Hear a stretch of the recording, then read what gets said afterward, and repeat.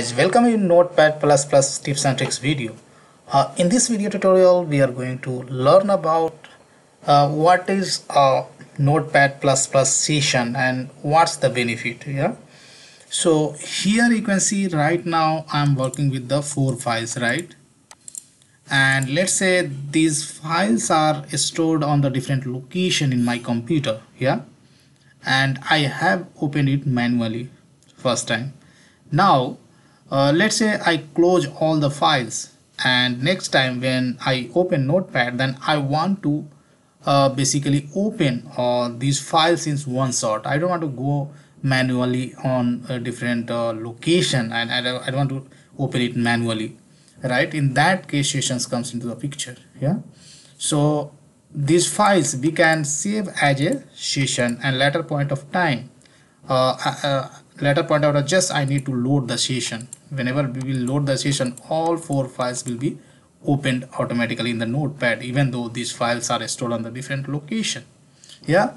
So to work with the session you need to click on the file and here you can see this option save session. Yeah? So I'm clicking over here. So you will have to specify the session name right? So let's say I would say my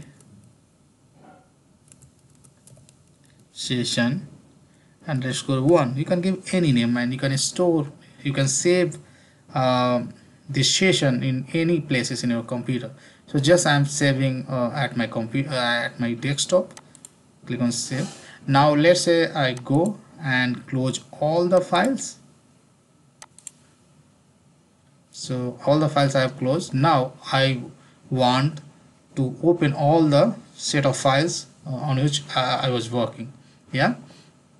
Now I'll go to the file and you can see an option is called load session yeah. Click on this and uh, this session I had saved on my desktop. So I'll go to here and here this is the file.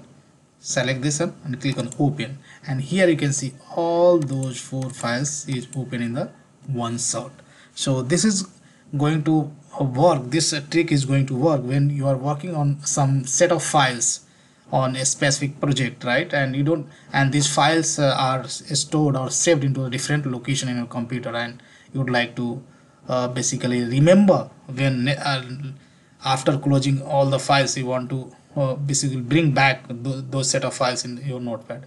So i hope you enjoy learning this video guys. If you like this video then hit on the like button if you didn't subscribe kk java tutorials still then please go ahead and subscribe it. And guys big thank you for watching this video